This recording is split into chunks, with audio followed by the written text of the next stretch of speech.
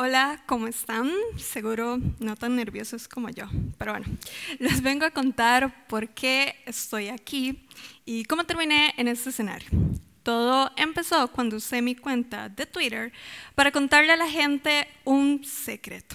Así que les dije, hey, ¿saben qué? Yo no compro ropa nueva. Bueno, a excepción de mi ropa interior y mis trajes de baño, por obvias razones. Pero bueno, la ropa nueva no es algo imprescindible. De hecho, en el mundo se fabrican en promedio cada año 20 prendas para cada persona que existe. Así que desde hace 5 años yo me he visto solamente con ropa usada. Y eso, bueno, usada, reciclada, ropa americana, como le quieran llamar. Y eso no debería ser un secreto, pero tiene tantos estereotipos alrededor que el tweet terminó causando revuelo.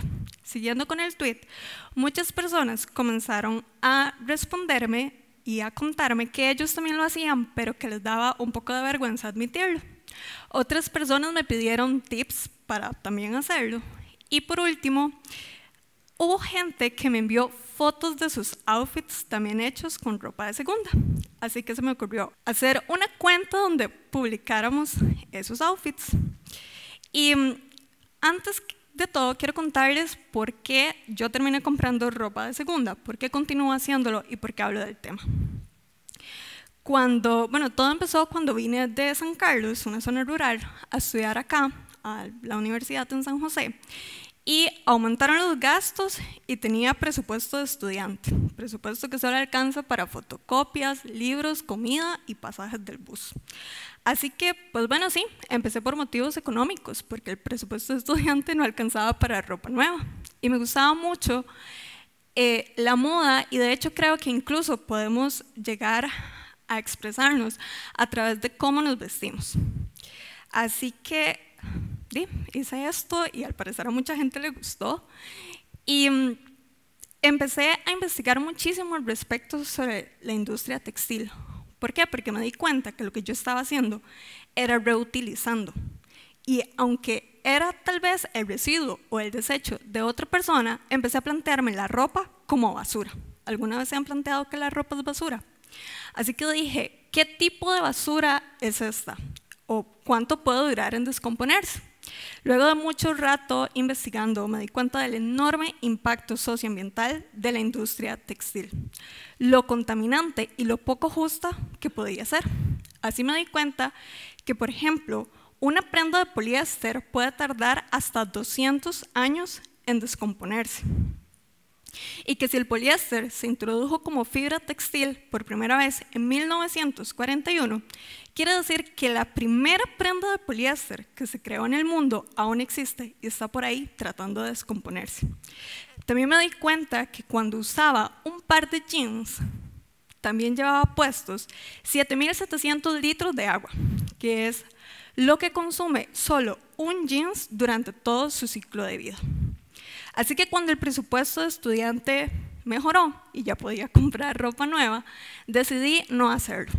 Uno, porque soy un poco tacaña acá entre nos. Dos, porque decidí que ya había suficiente ropa y que reutilizando ropa iba a ser la manera, bueno, una de las maneras como yo iba a disminuir mi impacto en el ambiente.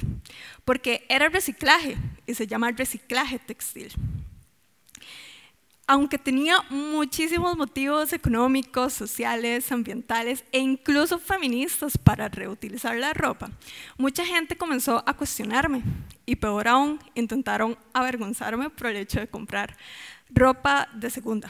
Y es que existen muchos estereotipos. Posiblemente ustedes están haciendo preguntas sobre la ropa que llevo puesta en este momento y pues sí, todas de ropa usada, hasta el moñito que tengo aquí en el cuello.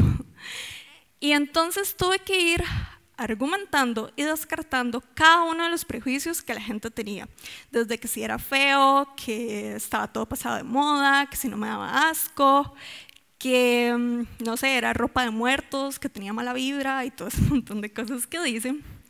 Así que bueno, usado no significa necesariamente que sea feo o de mala calidad. Y eso lo demostré el día que comencé a recrear outfits de famosas o fashion bloggers, pero todo con ropa usada, con un presupuesto de menos de 10 mil colones y cuando ando muy atrevida lo hago por menos de 5 mil colones. Eso otra vez lo tuiteé y se volvió un tweet bastante popular al punto que terminé en la portada de un periódico nacional con letras gigantes y me pusieron mis tiendas de ropa americana. Pero bueno, eso fue algo muy gracioso. Pero a través de eso pude demostrar que me podía vestir bien, que estaba ahorrando plata, que me podía ver a la moda y que de paso estaba reciclando. Eh, bueno, ahí tienen el tweet. A través de eso me di cuenta que muchas personas se identificaron con esto. Otra vez comenzaron a llegarme un montón de fotos de gente haciendo lo mismo y motivándose a hacerlo. Y es que es justo eso, identificarse con una acción que tenga un impacto positivo y ver cómo poco a poco puedo llevarlo a la práctica. Cuando la gente me dice como, hey, no, pero vos no andas así como siempre súper pasada de moda con esa ropa vieja, pues en realidad qué difícil es llevarle el ritmo a la moda actualmente. La tendencia, la industria textil cambió hace 20 años. Pasamos de tener un modelo con cuatro tendencias estacionales al año a tener un modelo fast fashion o de moda rápida. Este modelo nos da micro tendencias y colecciones nuevas cada dos semanas. Es decir, que si cada dos semanas no le agregan una prenda nueva a sus closets, posiblemente, sorry, pero están pasados de moda como yo. Así que esto nos dice algo. Cada dos semanas se están creando prendas nuevas, pero también se están, creando, se están botando toneladas de basura. Textil, de ropa. Este modelo fast fashion trata justamente de hacernos creer que estamos comprando ropa barata, y de hecho sí, pero estamos comprando mucho más ropa. Pero esa ropa se volvió desechable, así que es de mala calidad y tenemos que botarla pronto. Fue así como me di cuenta que, por ejemplo, para fabricar fibras como el poliéster, el expandex o el nylon se necesitan 70 millones de barriles de petróleo al año.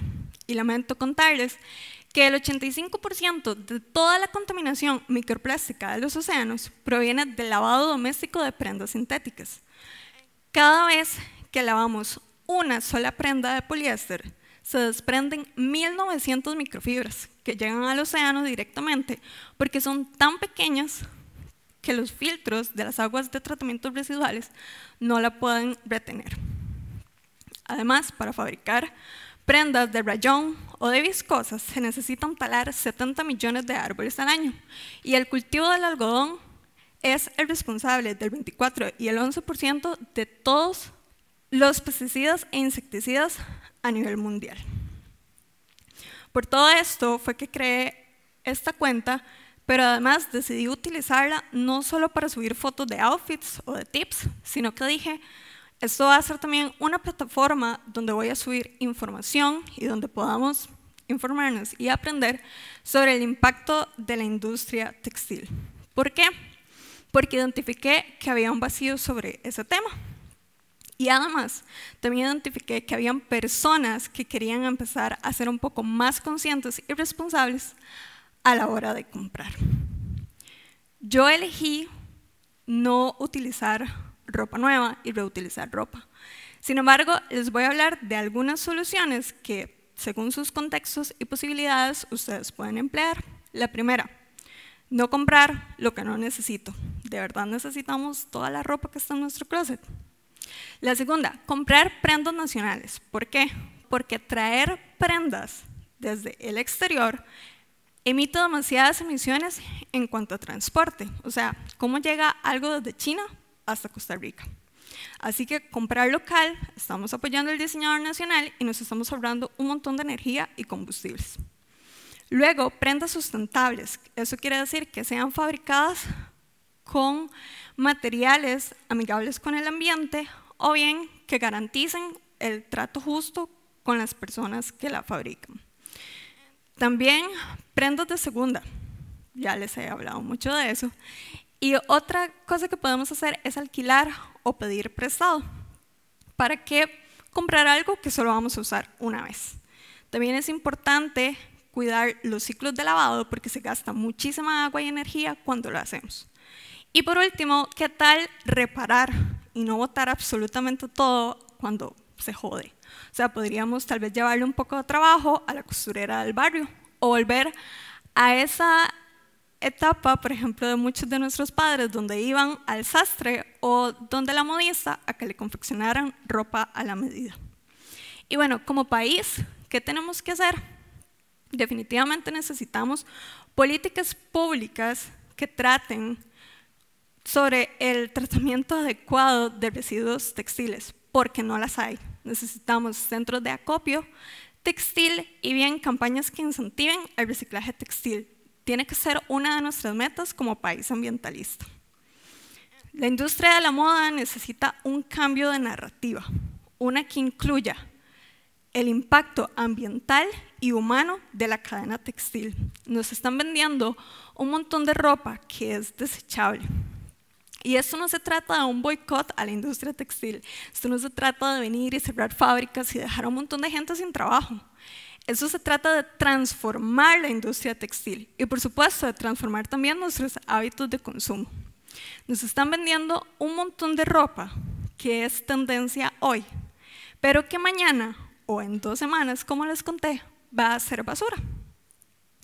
Así que no necesitamos tanta ropa, ya existe muchísima ropa en el mundo y creo que definitivamente la prenda más sostenible es la prenda que ya existe. Gracias.